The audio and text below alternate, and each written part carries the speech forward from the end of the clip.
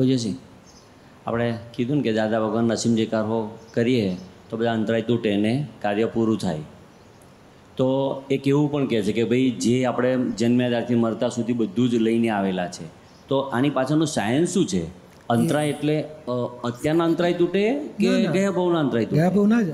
આ કેવું છે અંતરાય તૂટવા માટે નિમિત્ત હોય પાછું. કોઈ દેવદેવીને માનતા લે અંતરાય તૂટે કોઈ દાદાનું નામ લઈને તૂટે એ કાળ એ નિમિત્ત હોય છે. એટલે પેલું એ વ્યવસ્થિતનો જ હિસાબ છે બધો. ના કે છે ને, કેટલાય જો નામ નથી લઈ શકતા, કારણ એને અંતરાય ભોગવવાના હોય તો ભૂલી જાય. અને અંતરાય તૂટવાના હોય તો એને યાદ રહે. પણ મૂળ એ આખું જીવન પૈસા જન્મ્યો ત્યારથી મરતા સુધી પૈસા મળવા, ન મળવા બધું વ્યવસ્થિતનો હિસાબ છે. એમાં બે મત નહીં. પણ અહંકારને શું છે કે હવે ખબર નથી પોતાને કે મને નથી મળવાના કે મળવાના છે. માટે મળવાના છે એમ કરીને પોઝિટિવ પ્રયત્ન કરવાના. પ્રાર્થના કરવાની અને કદાચ એના અમે ત્રણ વર્ષના અંતરાય હોય દાદા ભગવાનનું નામ કલાક કલાક અસીમજી જે કાર કરે આરતી કરે બધું કરે તો એ ત્રણ વર્ષ સુધી ના મળે. પણ ત્રણ વર્ષ નથી મળવાના. અને જો દાદાનું નામ ન લેતો હોત તો એ ખરાબ ટાઈમ વખતે એની વિચારણા શું હોય? આર્થ ધ્યાન રૌદ્ર ધ્યાન કેટલા કરી નાખે? પહેલાં પહેલાં વીસ લાખ આપતો નથી મારે આ લોકો મારે પાંત્રીસ લાખ લેવાના છે એ મળતા નથી. અને આ લોકો માગે છે મારે ચૂકવાતા નથી. કેટલો કકડાટ કરે? અને આ એણે તપ કર્યું ને દાદા નામ લેતો ગયો. ખરાબ પરિણતિ બંધ થઈ. એટલે કર્મ ફળ તો ભોગવે જ છૂટકો એમાં ફેરફાર ના થયો. કર્મ બીજ સુધર્યું અને ખરાબ ટાઈમમાં જે ત્રણ વર્ષ ક્ષમતા રહી શકી. અને એ આવતા ભાવની સેફ સાઈડ થઈ અને ખરાબ ટાઈમમાં ભોગવટા વગર કે છે ને રડતા રડતા ભોગવવાનું ને હસતા હસતા તો હસતા હસતા ભોગવાઈ ગયો. આ બે ફાયદા થાય છે. હસતા હસતા ભોગવાઈ જાય છે અને આવતા ભાવની સેફ સાઈડ થાય છે. અને આપણે તો શીખવાડીએ માગતાવાળા અને આપવાવાળા બધાને પ્રતિક્રમણ ચાલુ કરી દો, ધમધમાઈને. તો પહેલાં લોકોએ રાહત આપે છે. ભાઈ સારું, તારે આવે એટલે આપજે, હા, કશો વાંધો નહીં. પણ મારા મારીને કાપા કાપી વાત ટાળી પડી જાય છે. એટલે આ બહુ મોટો, આ અંતર, અંતરના ભાવ ફેરફાર થવાથી બહુ મોટું પરિણામ અનુભવીએ છીએ બધા. હજારો માણસો અનુભવેલા છે. ધંધામાં તો ચડતી પડતી કોને ના આવી હોય? પણ તોય આ જ્ઞાનથી, પ્રતિક્રમણથી, પ્રાર્થનાથી, અસીમ જયકારથી સરસ પસાર કરી નાખે ખરાબ ટાઈમ પીરિયડ જે જણે હોય કે આપણને આ એમાં પીરિયડમાં ફેર ખરેખર છે ને ફિક્સ તો હોય છે ત્રણ વર્ષ ફિક્સ જ હતા. પેલો કકડાટ કર્યો ને એટલે ત્રણ વર્ષ તેર વર્ષ જેવા લાગે ને અને ક્ષમતામાં રહ્યો ને તો ત્રણ વર્ષ બે વર્ષ જેવા લાગે. દોઢ વર્ષમાં પતી ગયો આમ. કે કાળ ઓછો. જે બહુ રાહ જુઓ ને તો બે કલાક બાર કલાક જેવા લાગે. અને કામમાં ભૂલી ગયો ને હા પતી ગયો ટાઈમ હવે બે કલાક પૂરા થઈ ગયા. ખરેખર બે જ કલાક થયા હોય. એટલે ચિત્ત ભગવાનમાં રાખ્યું ને, એટલે એને કાળ ઓછો લાગે. અને ખરેખર દખલ કરતો નથી. એને દખલ વગરનું એટલે સહજ ભાવે પૂરું થઈ જશે એનું. વૈજ્ઞાનિક રસ્તો છે દાદાનો. બધો ભલે એમ કે ને કે આ દાદા ભગવાન નામ લેવડાવે છે, એવું નહીં, એમને કંઈ પડી નથી. પૂજાવાની કામના છે જ નહીં એમને. હા, પણ એમનો રસ્તો બતાડ્યો કે તમારો અંદર કર્મ નહીં બંધાય ખરાબ કર્મ ક્ષમતાભાવે પૂરા થશે, અને ખરાબ ટાઈમ તમારો સરળતાથી નીકળી જશે. એ એ વૈજ્ઞાનિક રસ્તો છે દાદાનો. એટલે અમુક વખત એવું સાંભળ્યું છે કે ભાઈ દાદા ભગવાન અસીમ બોલે ને તો લોકોની કરોડો રૂપિયાની પણ ખોટ છે ને મહિના લગીને કન્ટિન્યુ બોલે ને બબ્બે મહિના લગીને તો બધું સોલ્વ થઈ જાય. એટલે લોકો એનું રહસ્ય શું કે કે આટલું બધું એટલે એ જ હા બધું આ દખલ બંધ થઈ ને એટલે રિઝલ્ટ આવવા માંડે. અને નિયમ જ છે આ બધું બોલો. આ શરીરમાં ચારસો ટકા તો ફેક્ટર ઓફ સેફ્ટી હોય છે. ઠોકાઠોક છ ને બદલે બાર ઢોસા ખાઈ ગયો ને તો એ ધીમે ધીમે રિપેર કરી નાખે અંદર. પછી બીજું બધું એને શું, પછી બે દાડા સુધી ખાવું ના જોઈએ. ખાખરો, મમરા ધીમે ધીમે જેમ તેમ કાઢે ને એટલે પેલું રિપેર થઈ જાય. એવો કુદરતનો નિયમ છે. તમે દખલ બંધ કરી દો.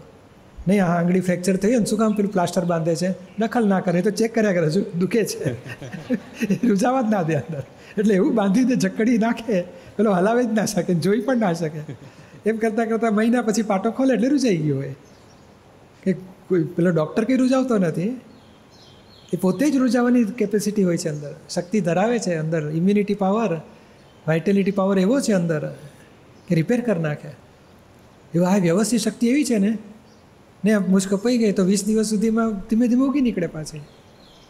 એ આ ખોટ ગઈ તો ધીમે ધીમે રિકવર થઈ જાય. દખલ ના કરો. પણ આ દખલ અહંકાર કયો દખલ કર્યા વગર રહી ના શકે? જીવતો છે ને મોહ એટલે આપણે એને બીજે પાટે ચડાવી અસીમ જે કાર રોજ કરવાના બે કલાક. આરતી કરો કલાક, અસીમ જે કાર કલાક. સારી વાણી વાંચો. પૈસાનો વ્યવહાર ચોપડી વાંચવાની ચાલુ કરી દો. રોજ પ્રતિક્રમણ ચાલુ કરો. એટલે પેલું મારું શું થશે એ લિંક તૂટી ગઈ એની. ત્યારે આવરણ તૂટી અને અંતરાય પૂરા થશે. લક્ષ્મી ભેગી થશે. હેડિંગ અબોવ નોર્મલ ત્યાં શું સુખ? લક્ષ્મી તો કેવી છે? કમાતા દુઃખ, સાચવતા દુઃખ રક્ષણ કરતા દુઃખ અને વાપરતાય દુઃખ. અને આજુબાજુવાળા જુએ ને તો એની નજર મારા પૈસા પર એની લક્ષ્મી મારી પૈસા ઉપર એની નજર છે. એનું દુઃખ શરૂ થાય. હમણાં માગશે હમણાં માગશે. મારે કેવી રીતે ના પાડવી? કેવી રીતે કંટ્રોલ કરવો? દુઃખ બધા. અને ઘરે સાચવીને લઈ જતો હોય ને તોય મેં કહ્યું કોઈ લૂંટાઈ જઈશ તો કોઈક મારશે તો. હું મારે પણ પૈસા ગયા ને મારશે બીજું. હડકા તોડી નાખશે કે છે. ભલા આ લક્ષ્મી કેવી છે? સુખ. એના પરિણામ બધા દુઃખ આપે છે. મેળવતાય દુઃખ, વાપરતાય દુઃખ, છતાંય સુખ માની બેઠા છે બધા એને. અને ખરું સુખ જ્યાં છે, પાર વગરનું અનંત સુખનો કંદ પોતાનો સ્વરૂપ એ તરફ દ્રષ્ટિ નથી જતી. ઘેર લાખ રૂપિયા આવે એટલે તેને સાચવવાની ઉપાધિ થઈ જાય.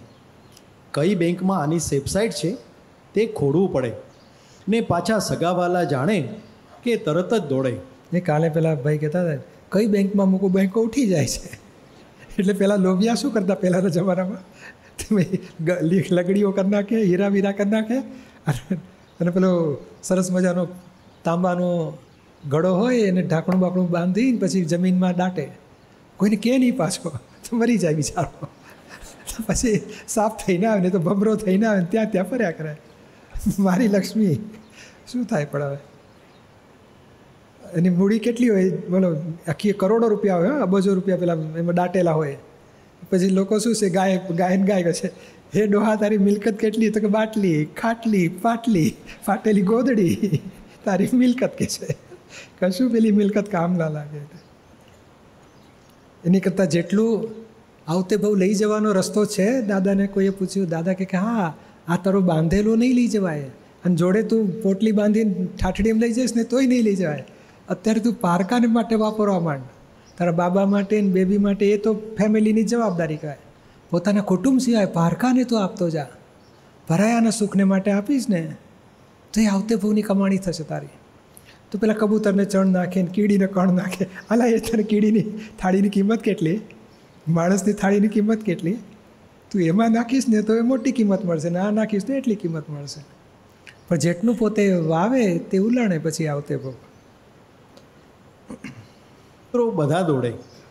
કહે છે અરે યાર મારા પર આટલોય વિશ્વાસ નથી. એક્ઝેક્ટ દાદા વર્ડ અરે યાર પેલો મિત્ર બનાવી દે અરે યાર મારા પર આટલો વિશ્વાસ નથી.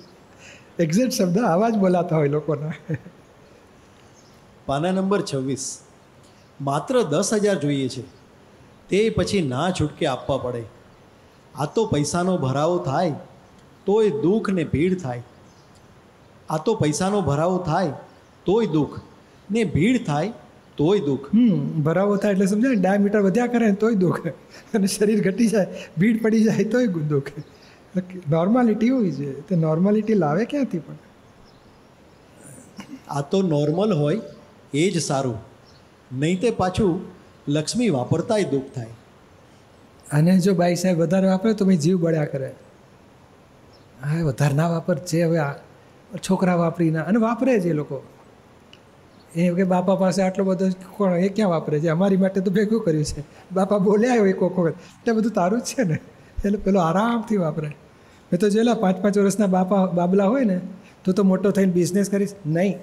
જોબ કરીશ તો કે નહીં. તો શું કહીશ? પપ્પાના પૈસા વાપરીશ કે છે? અમારા પપ્પા પાસે બહુ પૈસા જ કે છે. એટલે પૂછીએ ને બધું એને ખબર હોય. હોશિયાર હોય.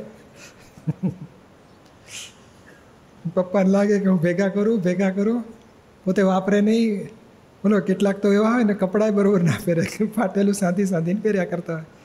ખોટા ખર્ચા શું કરવાના કહે છે? અને પછી છેવટે દાદા શું કહે છે કે ભાઈ, આ કીડીઓ બધું ભેગું કરે આખું વરસ.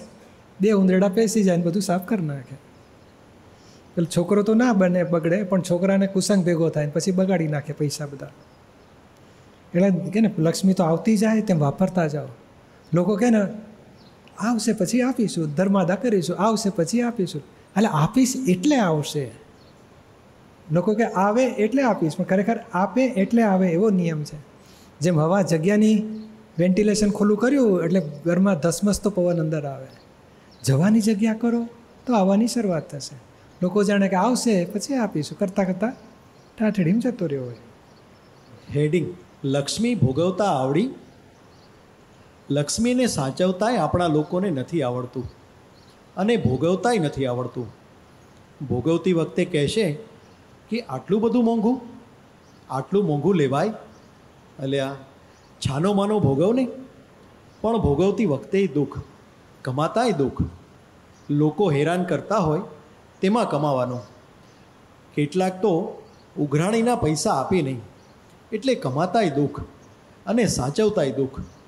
સાચવ સાચવ કરીએ તોય બેંકમાં જ રહે નહીં ને. બેંકના ખાતાનું નામ જ ક્રેડિટ અને ડેબિટ. પૂરણ ને ગલન. લક્ષ્મી જાય ત્યારે બહુ દુઃખ આપે. આ કેરી આટલી બધી મોંઘી તે લેવાતી હશે? આ શાક આટલું બધું મોંઘું કેમ લીધું? અલ્યા, બધામાંય તું મોંઘું મોંઘું બોલ બોલ કરે છે. મોંઘું કને, કોને કહે છે તે? તો સોંઘું કોને કહેવાય છે? આ તો એક જાતની કટેવ પડેલી હોય છે. એની દ્રષ્ટિ બેસી ગઈ હોય છે. એટલે શું થાય? આપણે શું કહીએ છીએ કે જે આવ્યું, જે મોંઘા ભાવે આવ્યું, એ બધું કરેક્ટ જ છે. વ્યવસ્થિત જ છે. પણ એને સમજાય નહીં ને. એને પહેલાંની દ્રષ્ટિ બેસી ગયેલી. તે છૂટે નહીં ને. હવે જઈએ ને ફોરેન તો પછી કેટલા તો પચીસ પાઉન્ડનો, એટલે મને ગણિત થાય. પચીસ ગુણ્યા સો, અઢી હજારનું. આપણે ત્યાં તો દોઢ હજારમાં મળે છે. એ બધું ચાલ્યા કરે બધી પછી ધીમે ધીમે પછી જો લોકોને શું લાગે? બરાબર છે. પહેલાંને પૂછે તો બરોબર છે. આપણે ખોરાક છે, મોંઘું મોંઘું કરીને દુઃખી થઈએ છીએ ધીમે ધીમે આટી છૂટી ગઈ પછી. એટલે આ મોંઘું સસ્તું એ બધું કાળના પ્રમાણે હોય છે. આપણે એ જમાનામાં રહેલા, એ જમાનામાં બધું સસ્તું સસ્તું જોયેલું હવે દાદાના વખતમાં તો કે ભાઈ રૂપિયે મણ, આઠ અને તી કેટલાકના દાદાનો વખત ત્રણ રૂપિયા આખો મહિનો ચાલે. વધી વધીને ત્રીસ રૂપિયામાં આખો મહિનો ચાલે. બોલો, એટલી બધી સસ્તાઈ હતી. અત્યારે તો ત્રીસ હજારમાં ઘર ચાલે એટલે ના સમજીએ. એટલે હવે એ મોંઘું સસ્તું કરતાં લોકો શું કહે છે? ભાઈ, આવો જ ભાવ હોય. અમે આ જ જોયેલું છે. બરાબર. માટે હવે એક્સેપ્ટ કરી લો. નહીં તો પેલું ઇન્ડિયામાં આવીએ એટલે પાઉન્ડને કે ને ત્રણ હજાર એટલે બે મિનિટ કાઢી નાખવાનું. ત્રીસ રૂપિયાનું છે, સસ્તું છે. વાપરો. ફોરેન જઈએ એટલે કે ત્રીસ પાઉન્ડ, ત્રણ હજાર, તો કહો ત્રીસ રૂપિયાનું જ છે. કારણ કે હજામતનો ભાવ કાઢું. એ લોકો પંદર પાઉન્ડ તો હજામત ના લે. બધું પંદર પાઉન્ડ લેતા હોય તો આપણે ત્યાં પાંત્રીસ રૂપિયા લેતા હોય, પચાસ રૂપિયા. તો આ પચાસ રૂપિયા બરાબર પંદર પાઉન્ડ. તો મજા કરવાની કે. એટલે આ બુદ્ધિને છેતરવાની જરૂર છે. એ મોંઘું મોંઘું મોંઘું મોંઘું. ખરેખર અંતરાય હોય છે ને, એટલે મોંઘું લઈ શકતો નથી ને વાપરી શકતો નથી. અને અંતરાય તૂટ્યા હોય ને તેને મોંઘું લાગે નહીં, નિરાતે વાપરે, ભોગવે, ખરો. એટલે આપણી દ્રષ્ટિ બદલી નાખવાની જોઈએ છે કે મોંઘું ને સસ્તું કરતાં જે વખતે જે બન્યું એ કરેક્ટ જે વખતે જે ભાવમાં મળ્યું એ કરેક્ટ ચાલો અહીંયા થોડા પ્રશ્ન લઈએ. શૈલેષ પટેલ. જય સચિદાન. બોલો. દિવસી આ ફાઇલોનો નિકાલ જે કરીએ છીએ લક્ષ્મીનો ધંધાનો એ ખરેખર અંદરથી થાય છે કે બહારથી ખાલી ઉપલબ્ધિઓ આપણે માનીએ છીએ? એની કઈ લાઈન ઓફ ડિમાર્કેશન ખરી? ખરી ને. એ તાતો રહેતો નથી પછી લાલચ રહેતી નથી એટલે હિસાબ પૂરો થયો એટલો. આપણે વાપ વપરાઈ ગયું ઘરમાં વાપર્યું કંઈક રિનોવેશન કર્યું કંઈક છોકરાને ખર્ચા વાપર્યા કંઈક ઘરમાં વાઈફ માટે વપરાયું તબિયત માટે વપરાયું ધર્માદા વપરાયું વપરાયા પછી આપણને કેટલું થાય? હા વધારે વપરાઈ ગયું ખોટું કર્યું ના આપવું જોઈએ બધું થાય? ના. હા એ અંદર શું થાય છે એ જ ચેક કરો. અંદર લાગે ના બરોબર છે સંતોષ છે આપણને. એટલે પૂરો થઈ ગઈ ફાઇલ એટલી. એટલે ઘણીવાર એવું લાગે કે હજુ એ આજ્ઞાનો દુરુપયોગ થતો એવું લાગ્યા કરે ના ના એવું નથી. આ તો હવે શું છે કે લક્ષ્મી ના કીધું ભાઈ આપણે વોટર આવે છે આપણી પાઇપલાઇનમાં એ અમુક છે ને પોતામાં વપરાય અમુક પીવામાં વપરાય અમુક દાળ શાકમાં વપરાય અમુક ધોવામાં વપરાય અમુક ટોયલેટ બાથરૂમ વપરાય. ક્યાં વપરાય ને હિસાબ પૂરતું હોય છે બધું. એટલે બહુ બોજો નહીં રાખવાનો એનો. શેમાં વપરાઈ ગયો? આપણી ધારણા પ્રમાણે ના વપરાય. બન્યું વ્યવસ્થિત સમજીને પૂરું કરવાનું. કારણ જે પરમાણુ પરમાણુ હિસાબવાળું છે ક્યાં હિસાબમાં વપરાશે વ્યવસ્થિતનું જોઈન્ટ હોય છે એટલે બોજો રાખવા જેવો નથી એનો. મારું પૂછવાનું એવું છે પૂજ્યશ્રી કે આપણે આ લક્ષ્મી એટલે ધંધો એટલે ફાઇલ છે એવું કરીને આપણે જઈએ ધંધામાં પણ આપણને અંદરથી ચોંટતું નથી કે ચોંટે છે એની વાત છે કમાવા જઈએ ત્યારે. હા તો એ ફાઇલ કહી દીધી એટલે પૂરું થવાનું. બરાબર. અને હમણાં વાપરો શબ્દ એ વાપરશો ને એટલે પરિણામ આવશે. અત્યાર સુધી રિઝલ્ટ તાત્કાલિક ના દેખાય પણ આમાં એઝ એ હોલ જુઓ પાંચ વર્ષે જુઓ સાત વર્ષે જુઓ તો તમારા તમારા વિચારણામાં જે પેલું ચોવીસ કલાક ધંધો ચાલતો હોય તો ચોવીસ કલાકમાં ચોવીસ વિચાર આવતા હોય ધંધાના બીજું બધું દાદા દાદા ચાલતું હોય. બરાબર. એટલે એ ઘટ્યું ને એ ખાતરી થાય કે વચ્ચેના ટાઈમમાં ઘટી જ રહેલું. પણ એક દિવસમાં ઘટેલું દેખાય ને તો પાંચ વર્ષનું સર્વૈયું કાઢવો ત્યારે જડશે આપણને. સેદાણી જલપા જય સચ્ચિદાનંદ પૂજ્યશ્રી ઘરમાં ખાધે પીધે બધું સુ- એકદમ સુખી છું. પણ એમ કે થોડોક હાથ છૂટો રહે ને એટલા માટે હું સિલાઈ કામ કરું છું ઘરે. એ સિલાઈ કામમાં ઘણીવાર એટલું બધું બિઝી થઈ જવાય ને કે પછી આ આ જ્ઞાનનું ને એવું ઇમ્પોર્ટન્ટ હોય જેમ કે ચરણ વિધિ ઘણા ઘણા દિવસ ન થાય ને એવું બને. રોજ એમ થાય કે કરવી છે. રાતે કરીશ અત્યારે કરીશ એમ કરતાં કરતાં હાથમાંય લઉં પણ પકડીને પછી સૂઈ જવાય ચરડું પણ થાય ને એમ કેટલું થાકી જવાય. એટલે આવું થયા કરે છે એમ કે પૈસાની જરૂર નથી એટલી બધી. પણ એમ થાય કે હાથ છૂટોડીએ ને આપણે કમાઈ તો. હા બરાબર ચાલવા દો હમણાં. હા આપણો હિસાબ પૂરો થશે ને. પણ મને પસ્તાવ બહુ થાય કે મારી પછી જ્યારે નવરા પડીશું ત્યારે બે બે વખત કરી લેવાનું જૂનું સાટું વાળી લેવાનું. હું એવું જ કરું અત્યારે શું કરું? ઘણી વખત ટાઈમ જ ના મળે જૂનું સાટું હવે વાળી લેવાનું. નવરો હોઉં છું ને હવે તો. અને પૂજ્યશ્રી આપણા મહાત્મા છે ને એક અમુક મહાત્મા એવો હોય કે બધાને મૂર્તિ આપે ને, બધા એકબીજા મહાત્માને બહુ સરસ રીતે રાખે ને, અને બહુ જ મૂર્તિઓ બધાને આપે. મારી પોતાની ઘરે પણ એકદમ નાના ભગવાન હતા. તો મને મોટા ભગવાન એને પરાયણ આપ્યા કે નાના, તમે રાખો ને રાખો કે આ ભગવાન. એટલે મારી એટલી બધી, મારે એમ કે જગ્યાએ નહોતી મારી પાસે એટલું બધું એવું નહોતું કે હું મોટા ભગવાન લઉં કેમ કે ઘરમાં ક્યાં રાખવાને એ જ પ્રોબ્લેમ હતો. એટલે નાના ભગવાન હોય તો મંદિરમાં રહી જાય. તો એ કે ના તમે રાખો. એટલે બધા મહાત્માઓને દર વર્ષે ભગવાન આપે એને. તો એની પાસે એવી કેવી લક્ષ્મી હોય? એને શું ભાવ કર્યા હોય? કે આટલા બધા પૈસા જાઓ જલાલી બધાને આપે ને હવે લાંબી એનું ચિતરવાની જરૂર નથી. આપણને મળ્યા તો આપણે ભાવના કરે કે આટલા ભગવાનના પૈસા કાં તો કોકને આપી દેવા કાં તો ભગવાનમાં આપી દઈશું. એટલે મારા ભગવાન બીજાને આપી દીધા પછી. મફતિયા વાપરવા નથી. આપણે ભાવના કરવાની કે આટલા પૈસા દાદાના ફંડમાં નાખી દઈશ અથવા એ કોકને એટલું આપી દઈશ. પૂછીશ્રી આપણો ભાવ હોય પણ આપણે તો ન આપી શકતા. આપણી પાસે એટલે પૈસા જ ન હોય એમ. એ કશો વાંધો નહીં. આપણે બધાનું જોઈને કરવાની જરૂર નથી. પણ આપણને આવી ગઈ મૂર્તિ તો એટલા પૈસા આપણે ચેરિટી કરી નાખવાની. બરાબર અને મારા ભગવાન હતા ને મેં બીજા મહાત્મા હતા એને જ્ઞાન એ નહોતું લીધું. તો આપણે એવું કરી શકીએ કે જેને જ્ઞાન ન લીધું હોય ને એમ થાય કે મને ભગવાન આપો ને આપો મારે જોઈએ છીએ ને. તો આપી શકાય ને? હા હેમલતા શાહ.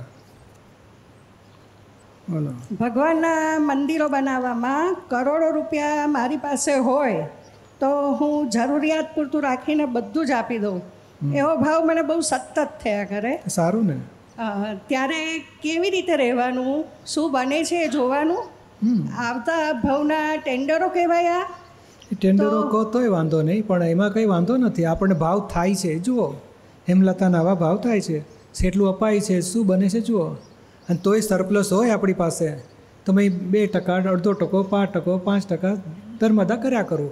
આપણે જ્યારે બધું પછી આપીશું થોડું થોડું તો આપવાની શરૂઆત કરી હા એ તો બહુ સરસ થઈ ગયું છે. ગાંધીધામમાં મેં આપને પૂછ્યું હતું કે મારે પાંચ મંદિરોમાં પચીસ પચીસ હજાર આપવા છે. તો ચારમાં અપાઈ ગયા અને મુંબઈ આપું એટલે પાંચ થઈ જશે.